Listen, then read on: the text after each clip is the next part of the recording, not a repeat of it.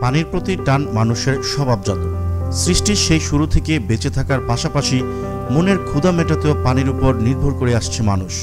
আর সেটা যদি হয়, সাগরের নীলচে লবণাক্ত পানি, তবে তো কোনো কথাই নেই। পানের উপযোগী না হলেও মনকে সতেজ করে তুলতে যুগের পর যুগ সাহায্য করে আসছে সাগর। অসাধারণ সব সৌন্দর্যের ভাণ্ডার সাজিয়ে রেখেছে নিজের গভীর বুকের মাঝে। শুধু সৌন্দর্যই নয়, সাগরের অতল গভীরতা ভেতরে লুকিয়ে আছে অনেক অনেক রহস্য। এমন কিছু অমীমাংসিত রহস্য চুক্তি করে লুকিয়ে আছে সাগরের মাঝে, যেগুলোর কোনো ধরনের সমাধান আজ অবধি পাওয়া যায়নি। আসুন জেনে নিই সাগরের এমনই কিছু অদ্ভুত রহস্যের কথা।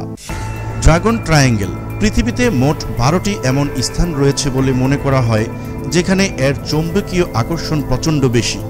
আর এমনই এক স্থান হচ্ছে ডেভিল সি বা শয়তানের সাগরের ভিতরে অবস্থিত ড্রাগন ট্রায়াঙ্গেল। জাপান আর বনিন দ্বীপের মাঝখানে সাগরের মাঝে অবস্থিত এই স্থানটিকে জাপানিরা সবসময় ড্রাগনের আস্তানা বলে ভেবে এসেছে। জাপানিজ পৌরাণিক কাহিনী অনুসারে এখানে এক ভয়ঙ্কর ড্রাগন বাস করে, যার ক্ষুধা দূর করা একেবারেই অসম্ভব, আর তাই প্রায় সেটা নিজের কাছে আসা জাহাজ আর মানুষকে খেয়ে ফেলে নিজের ক্ষুধা মেটানোর জন্যে। সেই থেকে এর নাম হয়ে গিয়েছে ড্রাগন ট্রায়াঙ্গেল।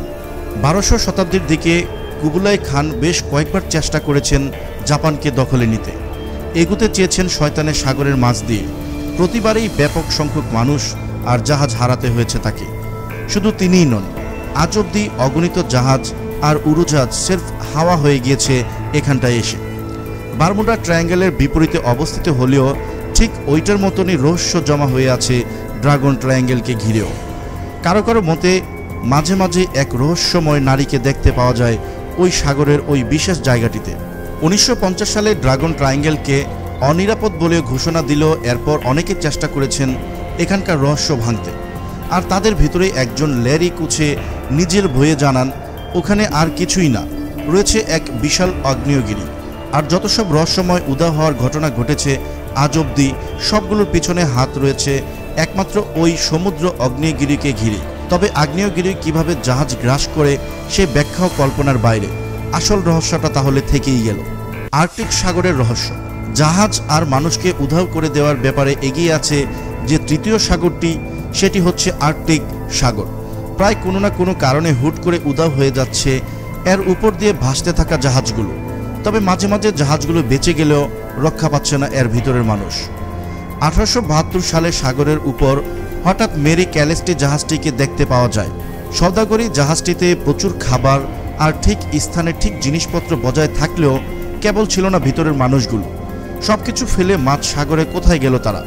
প্রশ্নের উত্তর পাওয়া যায়নি আজও। কখনো মানুষ উদাও, কখনো মানুষসহ জাহাজ।